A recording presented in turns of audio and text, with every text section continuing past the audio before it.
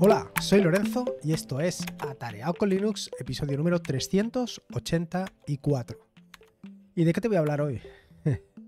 bueno, llevo unos días experimentando con diferentes aplicaciones, diferentes herramientas y todas relacionadas, o prácticamente todas de ellas relacionadas con Nome, con Nome 42, o básicamente con lo que hay detrás de Nome 42, con Nome GTK 4 y estoy realmente sorprendido. Y realmente sorprendido por la calidad de las aplicaciones, cosa que, bueno, hasta ahora siempre te puedes encontrar eh, determinadas aplicaciones con una calidad espectacular o con una calidad aceptable, pero cuando todas las aplicaciones que estás viendo, con independencia de mm, lo que haya detrás de ellas, con independencia de lo que hagan, eh, tienen una calidad tan alta, pues echas un poco mirada atrás y te das cuenta que además del trabajo indudable de cada uno de los desarrolladores que está detrás de esas aplicaciones, también hay algo subyacente, algo subyacente y algo importante. Y es el trabajo que están realizando o que han realizado durante todo este tiempo los desarrolladores de Nome, que han conseguido una librería, han conseguido una plataforma eh, que le da a todas las aplicaciones que están realizadas sobre ella una uniformidad, algo que probablemente eh, llevaras un tiempo reclamando, si no de una forma verbalizada, sí, sí de una forma indudablemente mental. Me refiero a que eh, algo que mm, te llama mucho la atención de determinadas aplicaciones, bueno, o de determinadas plataformas o sistemas operativos, es que las aplicaciones, con independencia de qué tipo de aplicación sea, pues guarda unos estándares, guarda, como digo, unas guías de diseño básicas. Esto es algo que eh, está muy dentro del ADN de NOM. Es decir, eh, dentro del ADN de NOM hay unas guías de diseño, una uniformidad de todo lo que se hace. Y esto yo creo que con la última versión de GTK 4 se ha conseguido. Eh, la verdad es que las aplicaciones, algunas de las aplicaciones de las que te voy a nombrar hoy, vas a ver que son realmente espectaculares, son muy bonitas. Eh, o sea, es que la palabra que, lo describe perfectamente es eso, son muy bonitas. Y no solamente son bonitas, no solamente tienen un diseño sinceramente espectacular, sino que, vaya, eh, siguen todas el mismo patrón. Y ese patrón es lo que inicialmente te estaba indicando, que es lo que ha marcado un poco Nome. Pero con independencia de eso, las animaciones, eh, los diseños, todo eso es que de verdad que sinceramente queda brutal. Eh, no tengo que decir, tengo que decir para serte completamente sincero que eh, no conozco para nada la plataforma de MacOS. Mm, sí, alguna vez he visto alguna aplicación, alguna vez he visto alguna cosilla de lo que tienen o alguna aplicación o alguna a ver, ¿cómo te digo yo? Alguna captura de pantalla, esa era la palabra que estaba buscando. A lo mejor he visto alguna captura de pantalla de alguna aplicación, de varias aplicaciones. Y sí, es cierto. Eh, las aplicaciones de Nome recuerdan, por lo menos lo que son capturas de pantalla, eh, recuerdan un poco a eh, esas capturas de pantalla que he visto de aplicaciones de MacOS. Pero solamente me recuerda a eso, porque tampoco te puedo decir mucho más. Quiero decir, todo lo que son animaciones, todo lo que son efectos, todo ese tipo de cosas no las he visto. Entonces no te puedo decir si son iguales, si se han copiado o no se han copiado. Y aunque se hubieran copiado, es que da lo mismo. O sea, quiero decir, la calidad del trabajo que se está consiguiendo o que se ha conseguido ya, vaya, porque yo lo considero algo realmente efectivo, es espectacular. Eh, también te tengo que decir, por otro lado, que no conozco para nada las aplicaciones de Qt. Alguna aplicación sí que he utilizado eh, en alguna ocasión, pero normalmente siempre me ciño a aplicaciones basadas en GTK. Con lo cual no puedo comparar de manera efectiva eh, la diferencia o la calidad entre unas aplicaciones implementadas con GTK4 y aplicaciones implementadas con Qt5 creo que es o con Qt6. No te sé decir. Pero lo que sí que te puedo garantizar es que eh, tanto a nivel de diseño como a nivel de usabilidad, las aplicaciones de GTK4, las aplicaciones de NOM, de NOM 42 son muy pero que muy bonitas. Así, es que es así.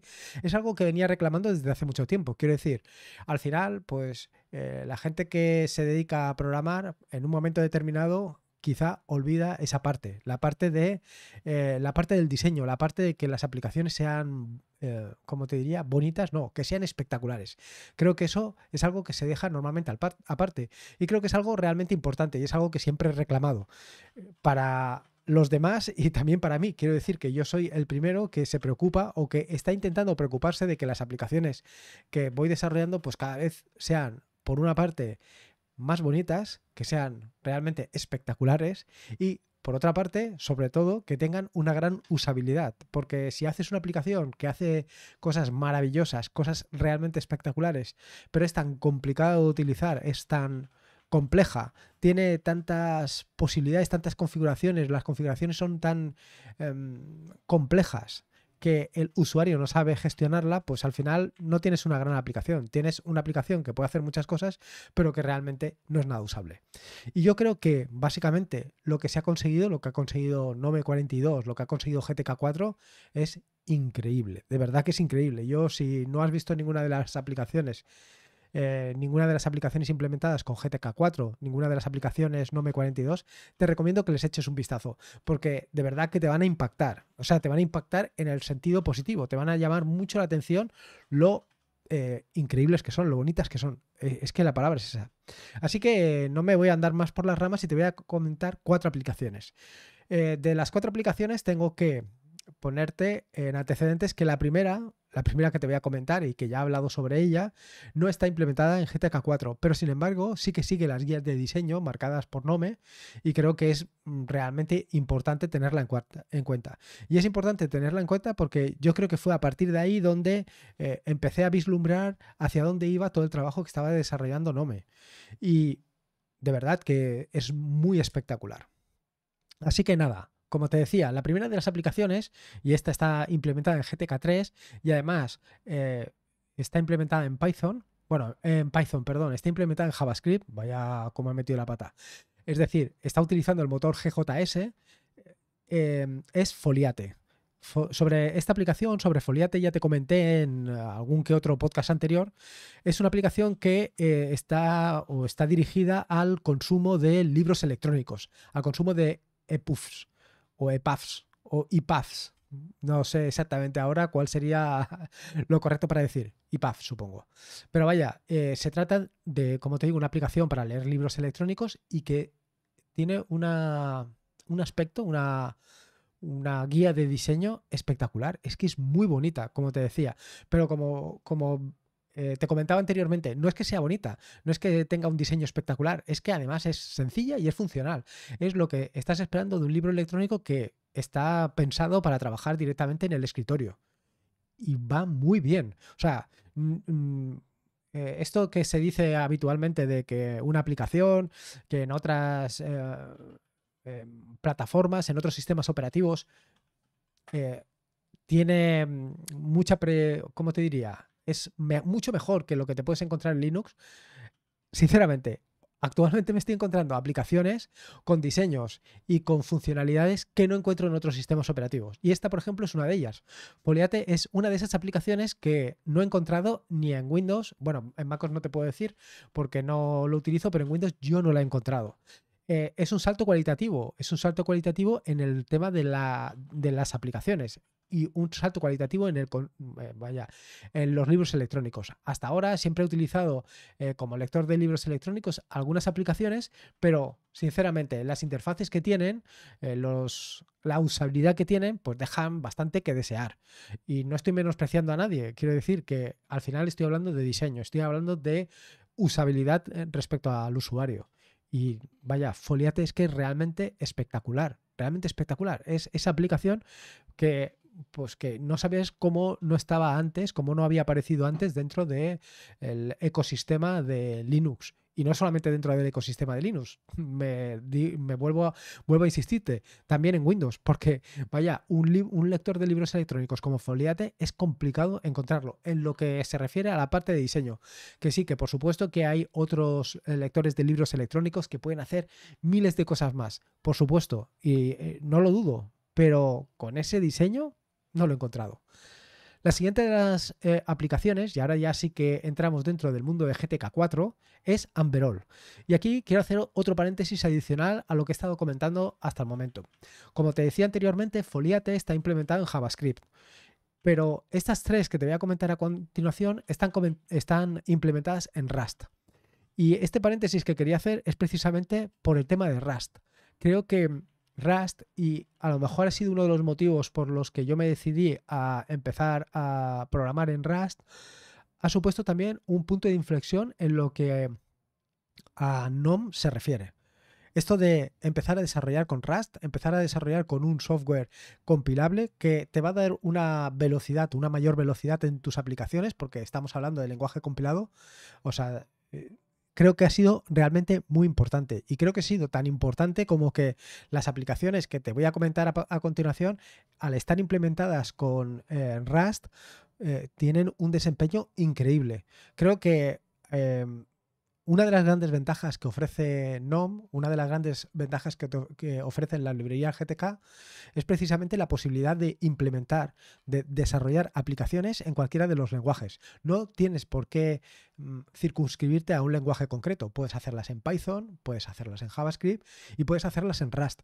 Dependiendo de lo que quieras hacer, pues puedes elegir o no un lenguaje u otro. Es decir, si vas a hacer una aplicación que requiera pues un desempeño importante, que tenga que ser rápida, evidentemente te vas a ir a Rust. Pero si no necesitas esto, a lo mejor simplemente con la aplicación implementarla en JavaScript o en, o en Python es más que suficiente, teniendo en cuenta que al final todo esto eh, son simple, em, como te diría, capas encima de lo que hay debajo, que al final lo que hay debajo no es ni más ni menos que C. Con lo cual, bueno, ahí, tienes todo. Eh, como te decía, la primera de las aplicaciones que está implementada en GTK 4 y en Rust y sobre la que ya ha hablado Jojo, eh, en, tanto creo que en algún vídeo, pero sobre todo yo lo he visto en Twitter, es Amberol. Amberol es una de esas aplicaciones que yo no utilizo para nada porque es una aplicación de música, pero no utilizo para nada porque, como ya he comentado en más de una ocasión, al final eh, solamente utilizo música para eh, abstraerme del entorno, para meterme única y exclusivamente en mi trabajo, con lo cual no, tiene mucho sentido que te hable de música porque no la aprecio tanto como la puedes apreciar tú. A mí, como te digo, simplemente es para aislarme. Sin embargo, Amberol, la gran ventaja que le he encontrado, bueno, la gran ventaja... Eh, lo interesante de esta aplicación para mí es el diseño. Tiene un diseño realmente espectacular. Aprovecha al máximo todas las posibilidades que ofrece NOM 42 o que ofrece GTK 4 para conseguir eh, una aplicación realmente visible, usable y espectacular. De verdad, es una de esas aplicaciones que, igual que te he dicho antes de Foliate, no termino de entender cómo no estaba o cómo nadie lo había desarrollado antes. Ciertamente, nadie la había desarrollado antes porque, como te he dicho casi al principio del podcast, lo que faltaban eran esas librerías de GTK 4 para dar toda la potencia y todas las posibilidades a las aplicaciones que están desarrolladas sobre ella. Pues el tema de animaciones, el tema de eh, la, la librería de agüita, en fin, todo ese tipo de cosas que consiguen que el resultado sea sinceramente espectacular. Sí, hay un gran trabajo de los desarrolladores que están implementando cada una de estas aplicaciones, pero no solamente es esto, también es ese trabajo subyacente que te comentaba anteriormente del trabajo eh, realizado por los desarrolladores de Nome. En fin, que Amberol, si no lo has instalado hasta el momento, si no conoces esta aplicación, este reproductor de música, simplemente instálalo y pruébalo.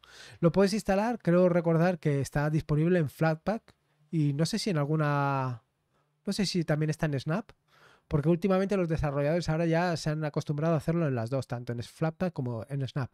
Entonces tienes esas dos posibilidades.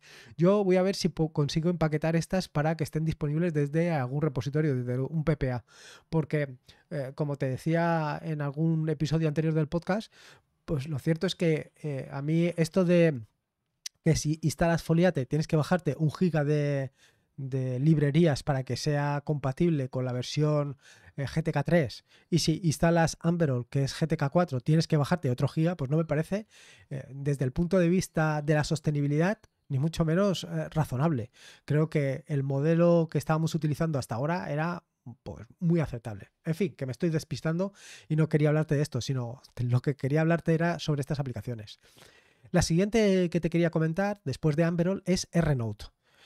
Em, ¿Cómo decirte? RNote es una aplicación que seguramente eh, recordarás por. O, o sea, esta no la conoces casi con toda seguridad, pero a lo mejor te suena de XJournal. XJournal es una aplicación que te permite cargar un PDF y sobre ese PDF pintar encima. Eh, a mí XJournal es una aplicación que siempre me ha llamado mucho la atención por las posibilidades que tiene, pero a la vez eh, he tenido sentimientos encontrados. Y he tenido sentimientos encontrados por la interfaz de usuario. Yo creo que la interfaz de usuario con las posibilidades que hay o que había en el momento está muy bien, pero había que evolucionar. RNote yo creo que es esa evolución, esa evolución que hacía falta. RNote eh, es realmente espectacular en, su diseño. No solamente por el eh, diseño simplista que tiene, por el diseño minimalista, sino también por todas las opciones que te ofrece y te las, eh, te las ofrece en un menú integrado, eh, un menú en una barra lateral con animaciones que es muy, pero que muy bonito. Es que es muy bonito, de verdad. O sea, me, llama mucho la atención escucharme a mí mismo hablar de muy bonito, pero es que es así. Son aplicaciones que son llamativas por lo bonitas que son. Los menús de uso de esta aplicación de verdad que son espectaculares. Te permite cargar, eso sí, un PDF de fondo y sobre ese PDF pues hacer anotaciones, eh, subrayar, hacer todo este tipo de operaciones. No le he terminado de encontrar el gusto porque para mí eh, debería estar organizado por hojas y tal y como está organizado actualmente no me termina de convencer, pero seguro que tiene su uso. Pero lo que me ha llamado poderosamente la atención de esta aplicación, sobre todo lo que me ha llamado muchísimo la atención de esta aplicación, es precisamente los menús de trabajo, los menús de configuración. La barra de desplazamiento, o sea, la barra de mm, configuración que tienes en la parte izquierda es lo que me ha llamado la atención. Tiene unas animaciones que son realmente espectaculares y son todo animaciones que vienen o que provienen de Nome 42. Impresionante, de verdad que es otro de esos trabajos que a mí me han marcado muchísimo.